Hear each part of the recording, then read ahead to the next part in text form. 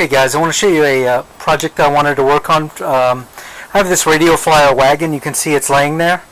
Um, it had gotten, it had been out in the rain a couple of times and mostly covered during its life, so it's really not in that bad a shape. One of the wood's broken, but I can fix that. But, you know, it's, it's still uh, useful for carrying stuff around. I mostly put tools in it. Occasionally I'll put my son in it too.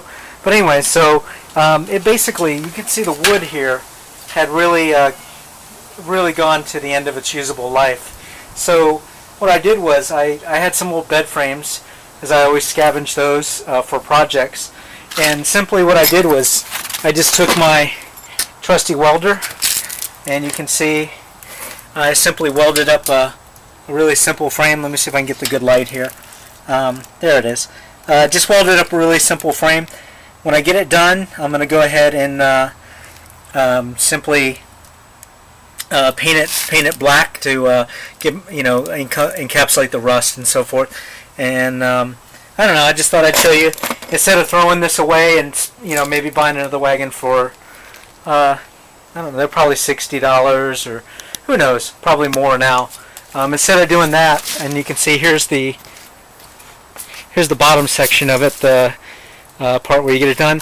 Right now I have some uh, penetrating oil going on the bolts here so that when I get done they will I will be able to take those off. And um, or I'll be able to take them off before I weld them on get this wood. Um, I'm going to give this a quick coat of paint also to uh, freshen it up. And um, if I was real serious about it I would uh, soda blast it and get it down to the bare metal and stuff but that's too much work for this project so um, maybe next time I repair it down the road but um, that uh, steel frame should give it a uh, uh, plenty of extra life uh, before I ever have to buy another one. And you can see here, you can see it from the back. Um, I guess just from being over time, from being pulled around, the rear wheels were not aligned properly. Um, they kind of went over to the angle, at an angle, so I had to, it's hard to see from this, but I had to just eyeball it and kind of uh, uh, make it work. So anyways, just kind of a neat project. Don't throw your stuff away, repair it. And remember, uh, tools pay for themselves in no time. Um, and uh, it's just a fun hobby project. If anybody has any thoughts or uh, comments, uh, please feel free to leave them on the on the comment section. Thank you. Okay, guys, and uh, maybe gals watching this. Um, this is a. I wanted to show you. I'm finishing up on the wagon now. It's really sturdy. It's a lot more sturdy than I thought it would be.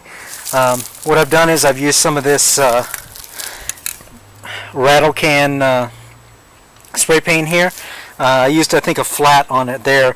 This is I ran out so I just grabbed this that was in the uh, in the uh, shed there and so I'm going to finish up painting the handle but other than that most of it's already painted. I might do another coat since I've got extra paint no big deal. Um, welds came out pretty good especially they look a whole lot better uh, when they are um, when they're painted. They don't look so hard. But again, I'm not a uh, I am not a, a welder by any means. I am uh, just a hobbyist, so don't take my advice on welding. Um, you can see other welds here. That one, uh, it came out pretty good. That one maybe a little better. Fairly good uh, penetration on most of the welds. Should be sufficient for just carrying around some tools and stuff like that. So anyways, I just thought I'd uh, show you this. I'll take one uh, quick video and uh, edit it in for when it's completely finished, see what it looks like. Thanks. Okay, I want to show you the completed product, uh, or, or rehab here. You can see this is my, um, uh, what is that, Radio Flyer Town and Country wagon. Um, you know, just to give background on it, I think I got a garage sale about 10 years ago or maybe more but anyways I think it was only like five bucks then so fixing it maybe um, maybe wasn't the best time decision but um, all in all I'd say the whole process probably took me uh, an hour and a half or so you know? And the materials I had all the metal, metal laying around I already had my welder all I needed to do is really spend a little bit of paint and a little bit of time maybe like uh, three dollars in paint maybe something like that so you can see it's uh, it's all put together now and frame's nice and solid. The uh, You can see it sits right in it. After building this I, I realized that I could have just almost uh, built the entire cart and just left out the old pieces. But anyways, I wanted to keep this one uh, kind of together for, I don't know, just for nostalgia's sake, I guess. And you can see uh, it's pretty good. This inside, this is definitely going to have to be replaced. Um, I've got a, uh, a piece of wood, as you can see over here. I'm going to go ahead and cut that, and I'll go ahead and put that in the uh, into the uh, bottom there. Should give it a lot sturdier uh, piece uh, than the wood that's in there now. You can see it's pretty, it's pretty.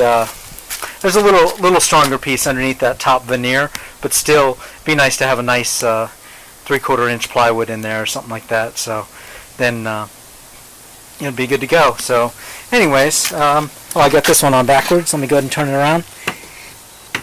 There you go. There we go. Now it's looking right. And you can see it is ready for carrying anything. Tools, kids, nice cooler beer wouldn't be a bad idea either. Maybe at a some sort of a, a social event. And uh, there it is. So if anybody has any questions or comments, as I've said before in the other uh, splices of the video, uh, reach out to us, or reach out to me on, on the comment section, and I'll do my best to get back to you. Thanks for watching.